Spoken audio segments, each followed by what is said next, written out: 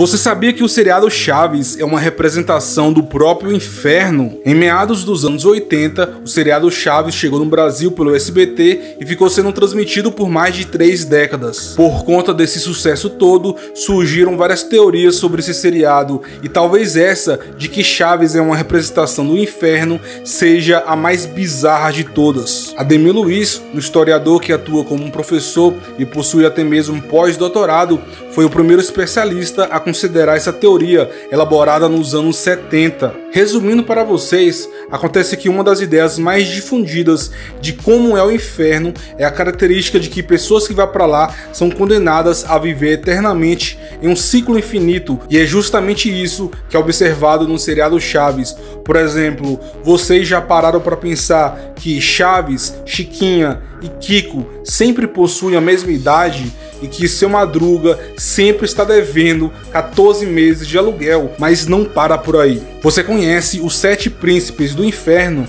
Bom, o que você precisa saber é que cada um representa um pecado capital, igual os personagens do seriado. Por exemplo, seu Madruga representaria a preguiça, seu Barriga a avareza, Dona Clotilde a soberba, Dona Florinda e o professor Girafales a luxúria, Kiko a inveja, Chiquinha a ira e Chaves a gula. E você, chegou a assistir Chaves? O que você acha dessa teoria?